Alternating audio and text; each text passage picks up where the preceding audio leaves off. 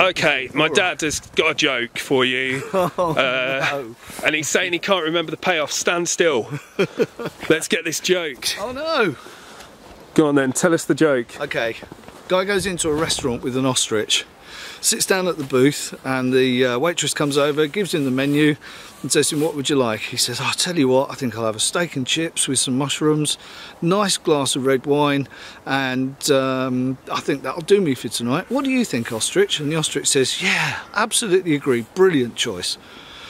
So uh, they do that, and it gets to the end of the uh, the meal, and the waitress comes up, and she says, uh, "That'll be uh, twenty-five pound seventy-six p." It's a very cheap restaurant. So she said, uh, "Yeah, twenty-five seventy-six." So the guy put his hand straight in his pocket, pulled it out, took the exact amount of money, and placed it on the table. And she went, "That's amazing." He said, "Oh well, we'll be in tomorrow." So he went in the next day. She said, "What do you want?" She said, uh, "I'll tell you what. We'll have. Um, I think I'll have. I'll have and chips, bread and butter, and a really nice cup of tea today. I just fancy some good old British food." He said, "That's fantastic.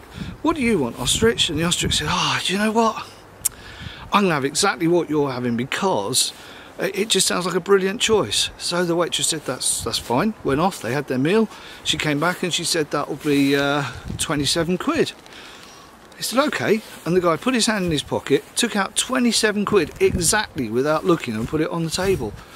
And the waitress said, that's amazing, she said. Every day you come in here, the ostrich agrees with everything you want to eat and you put the exact amount of money on the table that it, it needs to be.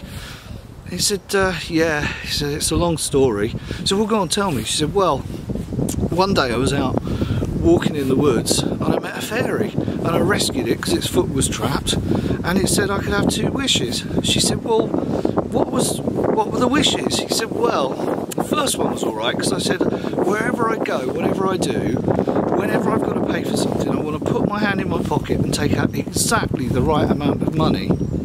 She said, well, that happens. That's incredible. What was the second wish? She said, oh, that's where it all went downhill, really, because I asked for a long-legged bird that was good looking and really agreed with everything that I said. That's a really. that took so long to get there, and it was rubbish. it was so bad, so bad. I won't ask for a joke off my dad again. Blooming heck, we know where I got the comedy from.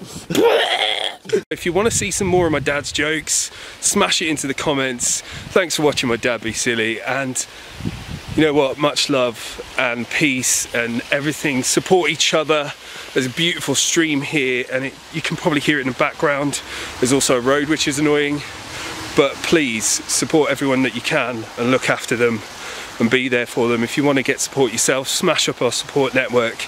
It's in the uh, description of this. And please just look after yourself. Thank you. Bye